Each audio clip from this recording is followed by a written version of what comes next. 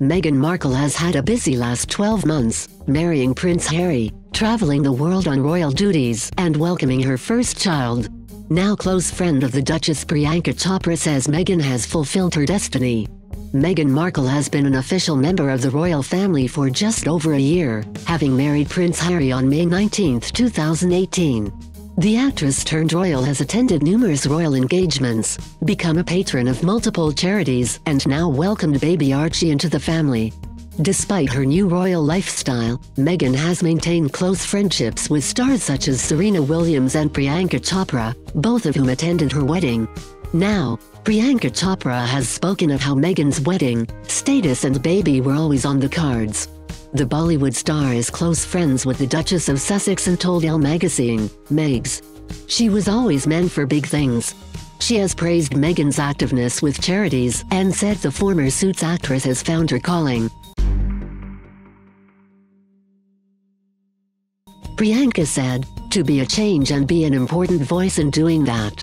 It's amazing that she found that calling and has the platform to be able to do it.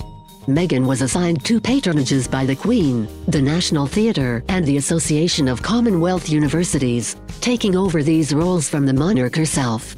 She also has taken on the patronage of two charities, SmartWorks and Mayhew which were announced in January this year. SmartWorks helps long-term unemployed and vulnerable women regain the skills, confidence and tools to succeed at job interviews, return to employment and transform their lives. The second organization, Mayhew, is a grassroots charity working in a unique way to improve the lives of animals and people to better communities both in London and internationally. Juliet Hughes Hallett, chair and founder of SmartWorks said, We are thrilled to announce that the Duchess of Sussex will become the royal patron of SmartWorks. An acknowledged champion of women and their rights worldwide, the Duchess will motivate ever more women to come to our centers and get the job that will transform their lives.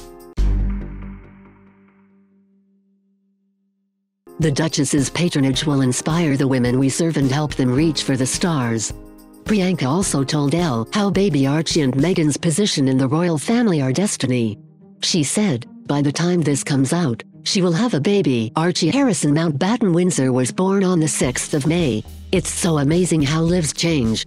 I'm a big believer in taking charge of your life, but there's got to be something bigger that puts us into the circumstances that we are put in. Destiny has a weird way of helping you to find your calling.